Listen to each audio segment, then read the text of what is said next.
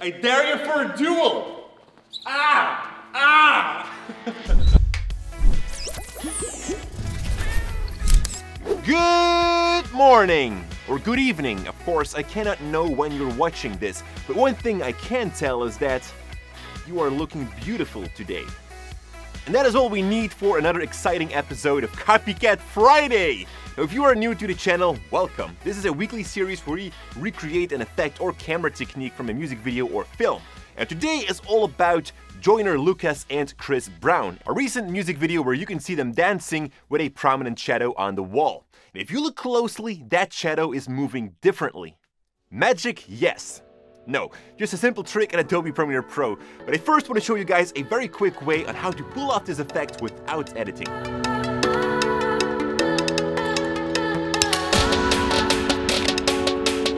Never ask an intern to set up the 2x2 frame, because they'll break it. So Janik, what are you looking for? A rondel. I don't know how it's called in English. So Lorenzo just broke one of these C-stands right here, and now we are now we have lost one of these screws or rondalicus, like we call it in Dutch, but uh, we can't find it. Good job, Lorenzo! So what we have right here is a 2x2 frame. You can also use a curtain or anything else which you can shine lights through. Because behind that framing we have a light. So if I would stand between this frame and that light over there, I would cast a shadow onto it. So that means if my colleague Janik is going to stand between that frame and light and I'm going to stand on the opposite side like this, it seems like Janik or Janik's shadow is my shadow. So if I would raise my hand, it kind of seems like I'm doing this. Pretty cool, huh? But then suddenly I would do something else, for example, just stand here and my shadow is going to dance or do something crazy. Look at that! Magic! No, it's not. It's just a filming trick. Now, guys, to make sure that this shadow also seems like it is my shadow, we have a softbox light over there. And I'm using a softbox because it is very important that this light is not going to cast actual shadows of me on this screen. So uh, that way I have uh, frontal lighting and it seems like that is my shadow. That's the idea behind it.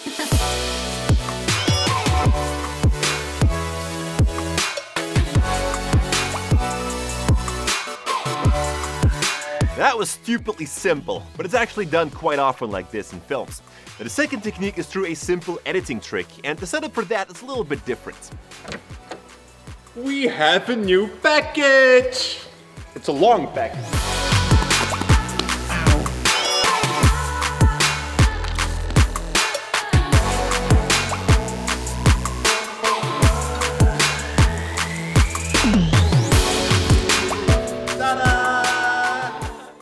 Time to set up the lights.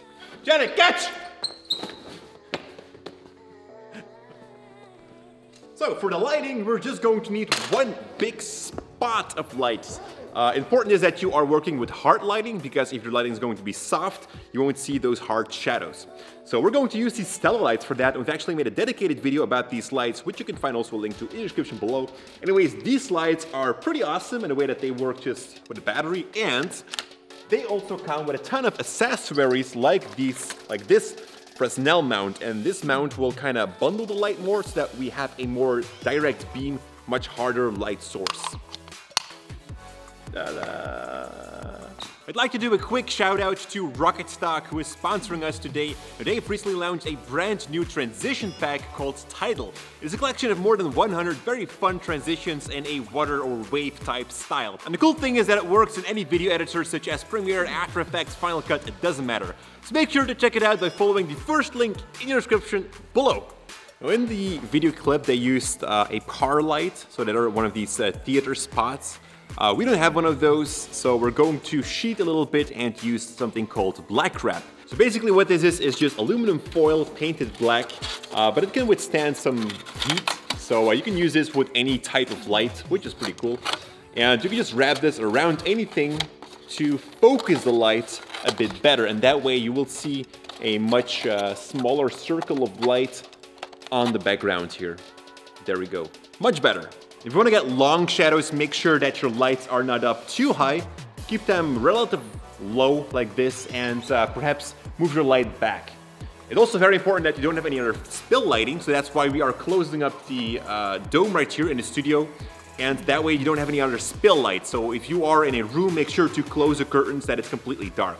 Of course, you don't need a vinyl like we're using. You can also just use a white wall or any other surface. Same goes for the lighting. If you can make a hard shadow, then you're good to go. So that could even be a strong sunlight. What is important though is that you film your subject from a tripod. You're going to need a fixed camera standpoint, and then just film your subject standing still and also a shot where he's dancing. Now once you got your shots, you can bring everything inside Premiere Pro. Place your two shots on top of each other, then select your upper clip, head to the effects controls and click on the pen tool under opacity. Now just draw a simple mask around your shadow, but make it big enough. Then play with the feather to remove the edge of the mask. And bang! That's it!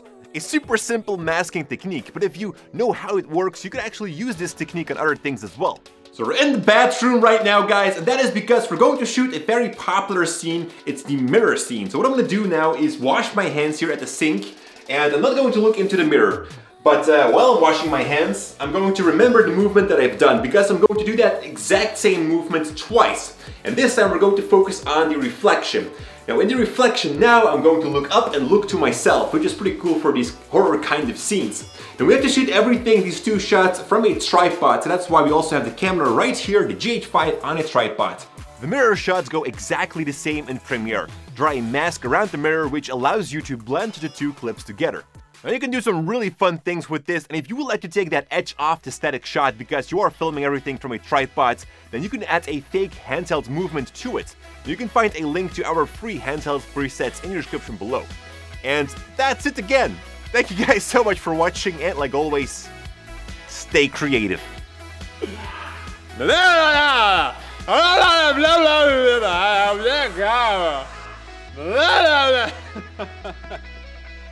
Help me.